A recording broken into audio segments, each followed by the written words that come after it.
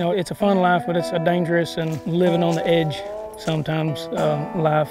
Uh, would, would you quit, please?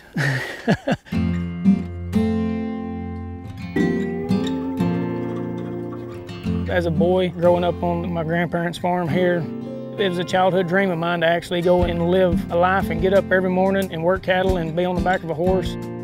I've always worked with my own two hands. If it's in my heart that it's right, then, you know, I'm going to stand up for it. I started off in the factory as a line mechanic and moved up throughout the company. I like dealing with Mother Nature and kind of seeing her cycles of life.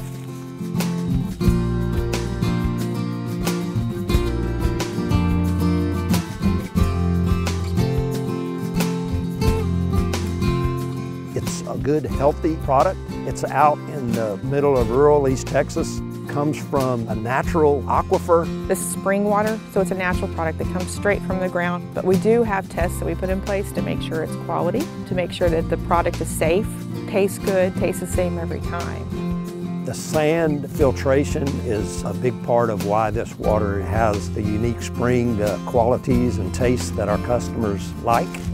Across Texas, we do have a range of mineral concentrations. That's what creates that natural, fresh, crisp flavor of Ozarka. We always want to make sure our operations are sustainable, and we partner with local agencies, Project WET for education. We serve approximately 160 schools, primarily fifth grade, learning about science and nature and the environment. Our interest in it is to develop up a citizenry that understands water and understands water science so that when decisions about the use of water need to be made, they make decisions as informed citizens. We do an activity called the Incredible Journey that ultimately shows the children the importance of fresh water on Earth and how limited it is to us. My job has led me elsewhere, but I found a, a, side career, as I guess you could say, as a volunteer for this department here. It's something that I've got a passion in doing, giving back to the community that I was born and raised that gave so much to me. With the guys and girls that I work with at Ozarka, I have the same togetherness as I do here at the fire department. You know, everybody's family.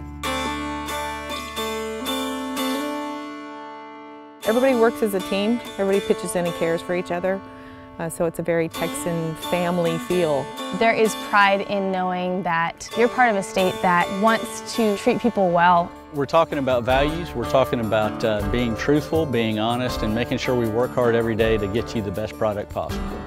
I know my kid can drink anything that has an Ozarka label on it. Brings pride to me. I can't do nothing but smile knowing that this is my company. What other bottle puts their state flag on the label?